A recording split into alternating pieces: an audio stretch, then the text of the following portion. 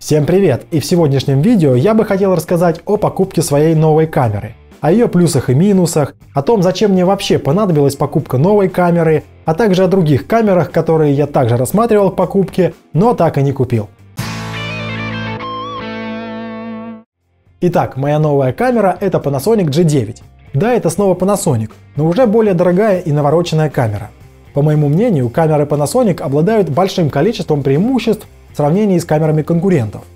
Главной причиной смены камеры стала необходимость съемки видео с рук а без использования какой-либо стабилизирующей техники, рига, монопода, э, электронного стабилизатора. Из дополнительных параметров, которые бы мне хотелось видеть в камере, э, можно назвать рабочий автофокус видео, но этот параметр скорее являлся дополнительным. Для наглядности вот пример съемки с рук без использования матричного стабилизатора. Теперь та же съемка, но с включенным стабилизатором.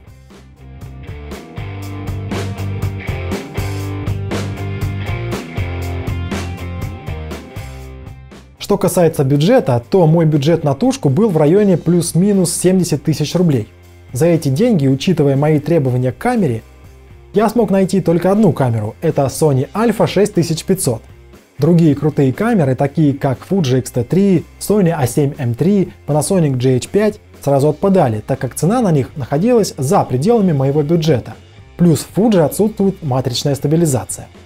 Что касается Panasonic G9, то на момент покупки в интернет-магазинах а, цена на тушку была в районе 95 тысяч рублей. И признаться честно, за такую сумму я бы, наверное, взял лучше Sony плюс какой-либо светосильный объектив. Но когда в одном из интернет-магазинов цена по акции упала до 77 тысяч рублей за тушку, здесь передо мной стал реальный вопрос. Так какую же камеру выбрать? Имея опыт работы с камерами Sony и Panasonic, я неплохо представлял а, их плюсы и минусы. Так, плюсами Sony Alpha 6500 в сравнении с э, Panasonic G9 будут являться малошумность в условиях низкой освещенности, крутой автофокус в видео, APS-C-матрица, соответственно большее размытие заднего плана, боке э, в сравнении с матрицами микро 4 третьих, а также для кого-то наличие S-Lock режима.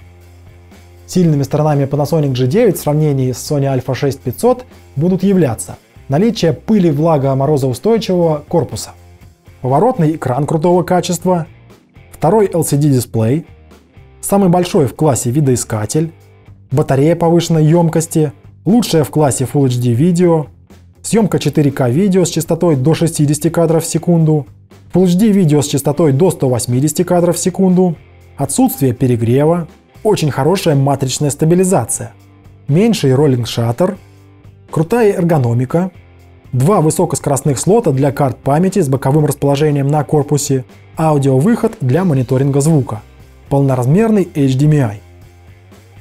Да, некоторые недостатки камеры Sony можно компенсировать, докупив дополнительное оборудование. Но это не только увеличит стоимость всего комплекта, но и сделает камеру более неповоротливой и неудобной во время съемки. Например, вот такой комплект я использую во время съемки на камеру Sony Alpha 6500 на работе. Все это приходится нацеплять на камеру и носить во время съемки, что довольно тяжело и неудобно. Из минусов Panasonic я бы отметил только один серьезный недостаток – это автофокус в видео. Да, автофокусировка стала значительно лучше в сравнении с моей предыдущей камерой Panasonic G7. И да, при использовании родных объективов Panasonic автофокус становится практически рабочим. Но так или иначе, автофокусировка Sony Alpha 6500 будет значительно лучше и надежнее. Вот так автофокус работает с объективом Panasonic 1260 f3.5 5.6.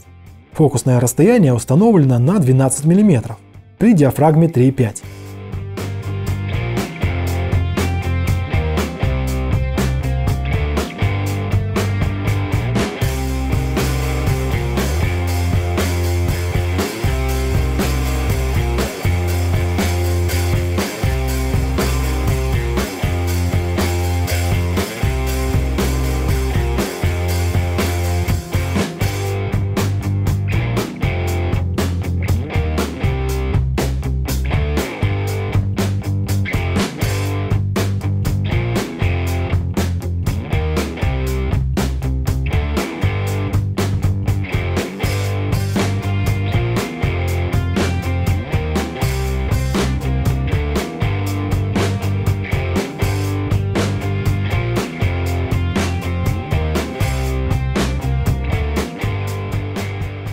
Теперь тот же тест с объективом Sigma 30 мм f1.4.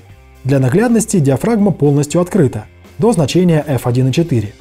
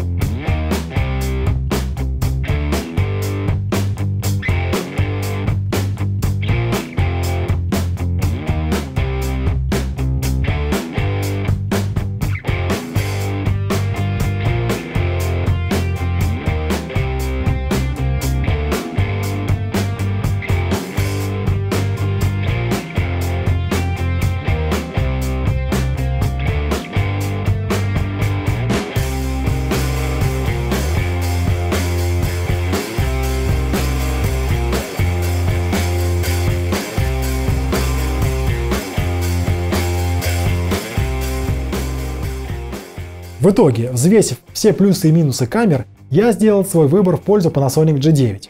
Также на мой выбор повлияло наличие объектива Sigma 30 мм f1.4 с прошлой камеры. Что касается автофокусировки в видео, то по моему мнению она стала довольно приемлемой. Так, это видео я снимаю в режиме автофокусировки по лицу с объективом Sigma 30 мм f1.4. Результат, как видите, вполне рабочий. Ну что же, это была история покупки моей новой камеры Panasonic G9. Надеюсь, это видео будет кому-нибудь полезным. Всем спасибо за просмотр, подписывайтесь на канал, комментируйте, ставьте лайки. Всем пока!